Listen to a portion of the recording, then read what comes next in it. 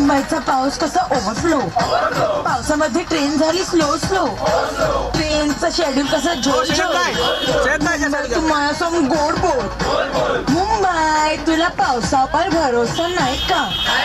मुंबईचा माणूस त्याला हाय.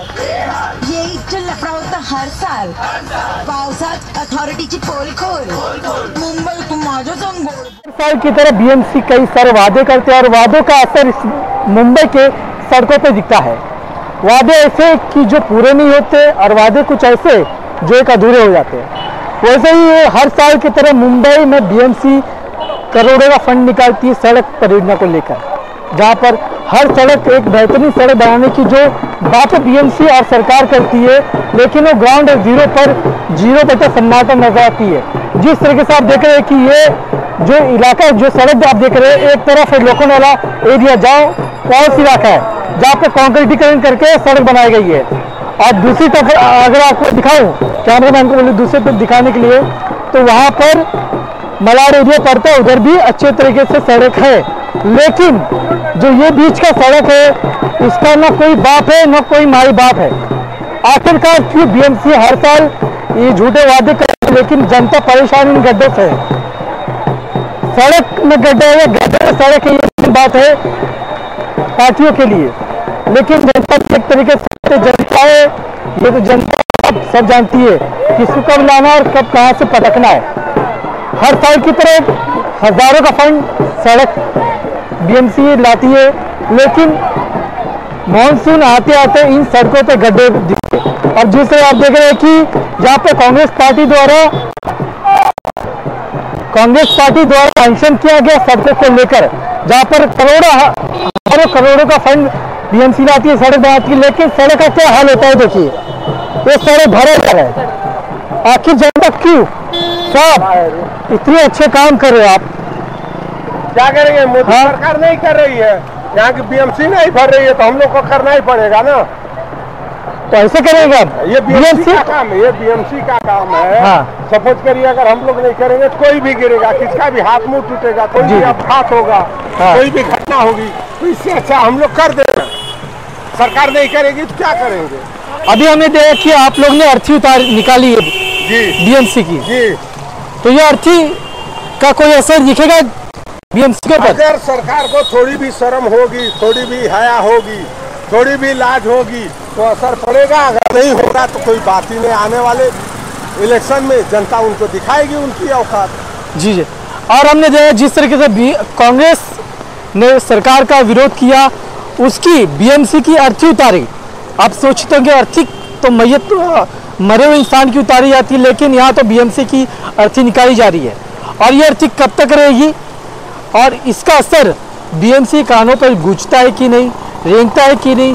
और आगे आने वाले साल में जो बीएमसी का इलेक्शन होने वाला है, उस पर क्या कांग्रेस जीत पाएगी या भाजपा सरकार और शिंदे गुट की शिवसेना जीतेगी? ये चर्चा का विषय है। अब हम आपके साथ बताएँगे जिस तरीके से यहाँ की नगर सेविका, पूर्व नगर सेवक है डॉक्टर जनता यादव ने क्या कुछ कहा बीएमसी को लेकर और इन सड़कों को लेकर।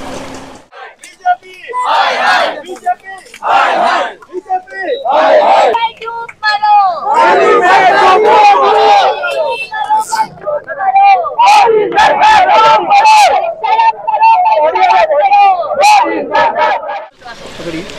खड्डों की वजह से आम जनता को बहुत तकलीफ़ हो रही है। कई जगह पे बाइक स्किड होके लोग उसमें खड्डों में गिर रहे हैं। कई लोगों की मौतें भी हो चुकी हैं। मैं आपसे पूछना चाहती हूँ कि ये शिंदे सरकार जो कहती है वो करती है क्या? मैं आपसे पूछना चाहती हूँ कि सीएम जो है मुख्यमंत्री जो कहते हैं मुंबई के वो करते हैं क्या? करोड़ों का फंड आज बीएमसी द्वारा खड्डे भरने के लिए नियुक्त किया गया। खड्डों को मुंबई के पूरे रस्तों को खड्डा फ्री करने के लिए सात हज़ार करोड़। की राशि को नियुक्त किया गया। लेकिन मैं आपसे ये बताना चाहती हूँ कि ये खड्डे भरे हैं क्या? आप देख रहे हो। हम आज दुर्गा नगर पे खड़े हैं।